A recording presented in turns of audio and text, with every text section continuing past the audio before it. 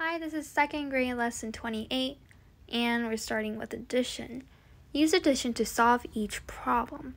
So number one, we have 9 plus 3, 1, 2, 3, 4, 5, 6, 7, 8, 9, plus 3, 1, 2, 3. So here we had 9, 10, 11, 12. So 9 plus 3 is 12. We don't put it like this. Instead, we have to put it like 2 and 1 so the ones place can match. Okay, now number 2 we have 11 plus 4. We always start with the ones place, so 1 plus 4. 1 plus 1, 2, 3, 4. We have 1, 2, 3, 4, 5. So 1 plus 4 is 5. 5.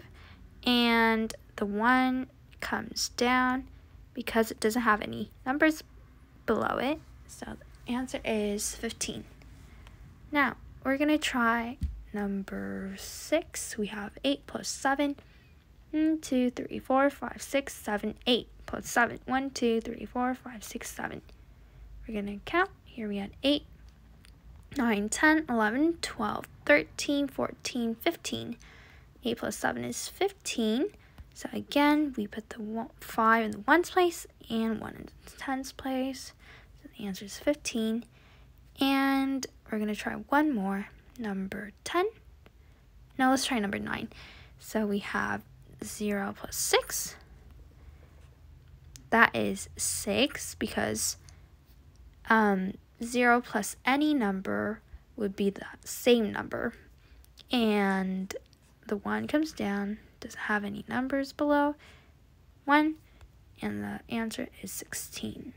Now number um, page number two, we have subtraction. Use subtraction to solve each problem. Now we're going to try number one first. So we have 1, 2, 3, 4, 5, 6, 7, 8, 9, 10. And we have to subtract 2. So 1, sorry, here's 1, 2. We're going to count. So here we have 1, 2, 3, 4, 5, 6, 7, 8. We have 8, so we put 8 and number six, we have 12 minus 5. We did 1, 2, 3, 4, 5, 6, 7, 8, 9, 10, 11, 12. Minus 5, 1, 2, 3, 4, 5. We're going to count 1, 2, 3, 4, 5, 6, 7. So the answer would be 7. Okay, now we're going to try two more, number 9 and number 10. 18 minus 4. Here's 8 minus 4. We try, we use the ones place. We figure out the ones place first, so we do 1, 2, 3, 4, 5, 6, 7, 8. Minus 4. 1, 2, 3, 4. We count. Here we have 1, 2, 3, 4. So 18 minus, oh, 8 minus 4 is 4. And the 1 comes down. So we have 18, uh, sorry, 14. And number 10, we have 20 minus 8.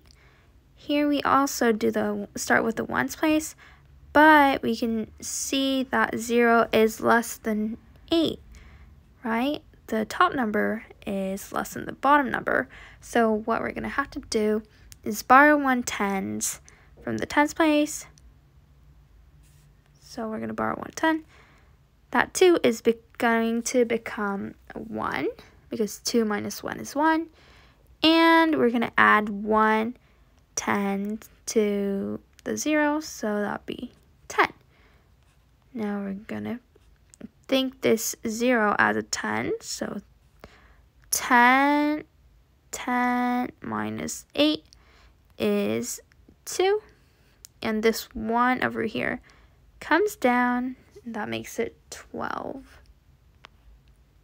Fact family. Form fact family equations with the given numbers. Let's try it with number 3.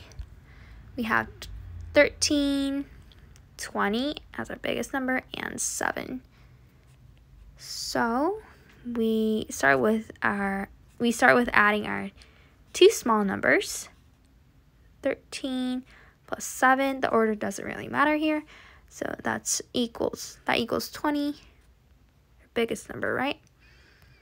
And, or it could be 13, uh, so, sorry, 7 plus 13. That's also 20. But here's the subtraction sign. So we're going to have to put our biggest, our greatest number first. So 20 minus 13, it could be also 7. 20 minus 13, that would be 7. And 20 minus 7 equals 13. And we do the same thing for the rest of the questions. And word problems. Okay, Gabriel found 20 frogs by the pond. By the pond, sorry. Some of them hopped away, and now there are seven left. How many frogs hopped away? So, so 20 frogs were by the pond, and seven left. So 20 minus 7. We have to borrow one tenth, one tenth from the 2 because 0 is less than 7. Now this 0 is now going to become 10. And 10 minus 7.